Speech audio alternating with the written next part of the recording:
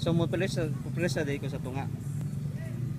Good day, Jake Aswin here from Gadget Talk, and today, guys, we're going to show you how to uh, experience the most Record na lang beautiful slow-mo using the Sony RX10. That's right. Yeah.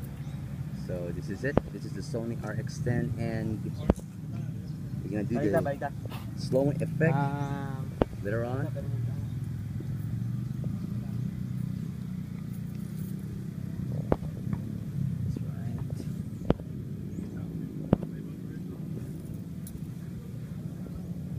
Buti hapin ba? Dili ba ba niya tuwa? Sponsored by Duterte.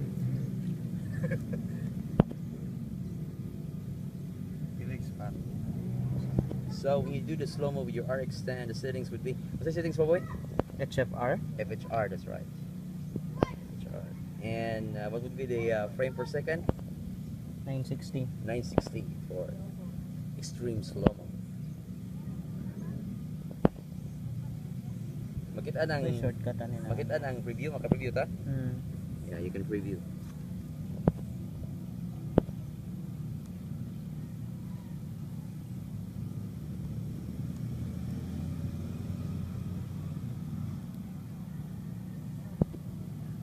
Ano yun?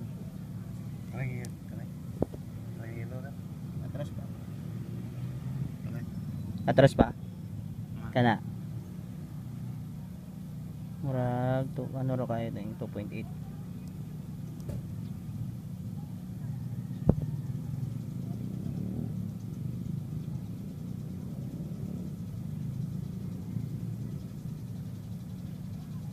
Urag ana naman tayo na-record basta. Unsay unsay shortcut ISO wala. May shortcut ISO ano? Na kana. Kada. Ah, wala ka nang tuyok diretso. Wala wala wala. I-focus mo na siya kung daan na lang. Then Kare, kare. Standby.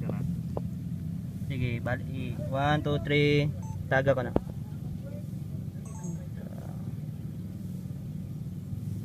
Na. Na.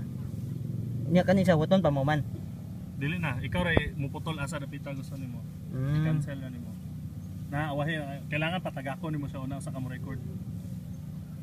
Mo ba? Hmm, tanawa. Ah, nabi na kita ano man. Ah, tara.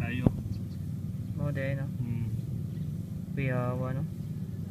Ah, oh, tungod sa iyang frame per second, Dapat pwede pulihan na o kuan man after nga mo press ka ana na mag-record. mm. Ikaw unsa man atong usbon? Oh, kay mo mo press. mm, pwede din na yan ano. Hmm, ano lang ka sa pwede i-cancel mo. Diyan na. Iyo. No? well. Hmm. Oh, very slow. Then Ano sa? Menu. menu.